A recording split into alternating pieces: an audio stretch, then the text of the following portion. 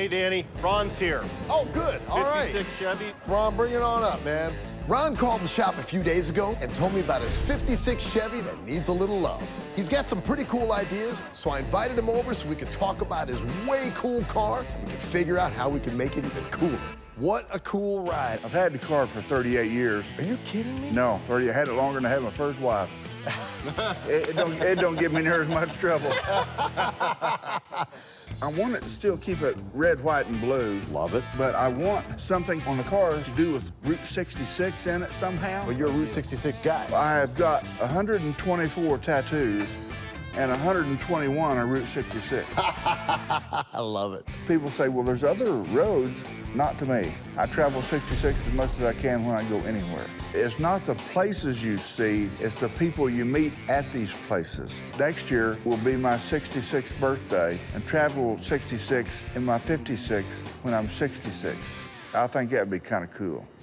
I think it's time for you to see your beautiful 56 that you're going to be cruising on Route 66. Are Sound you like ready? a winner to me. Let's do this, man. Here we go. Roli, bring out that beautiful 56. Oh, oh man. Oh, yeah. Oh, wow.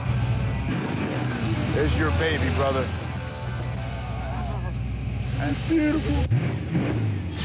Ron's 1956 Chevy is absolutely gorgeous. She got a brand new sheet metal roof, all new quarter panels, new door bottoms, new fender bottoms, and we topped this baby off with an amazing paint job of flaked out red, white, and blue candy paint and graphics inspired by the artwork that's all over Ron and all over Route 66, where Horny Mike and Ryan took a field trip to check out the scenery firsthand. Ron's 1956 Chevy is so gorgeous, I'd be proud to roll this thing on any route.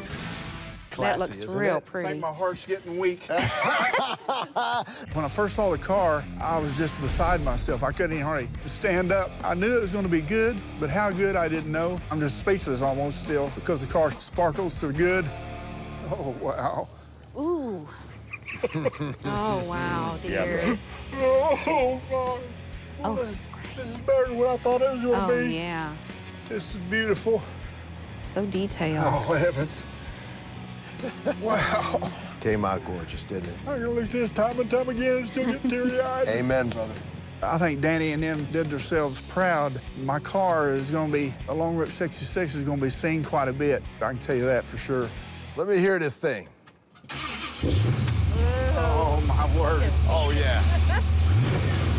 I can't wait to get it out on the road. I can see you guys cruising Route 66 right now in this thing. You better believe it. And you know what's even better news? We came in on your budget, brother. Word of mercy, I'm, I'm beyond words. Man, I love every project that comes into the shop, but this one was really special.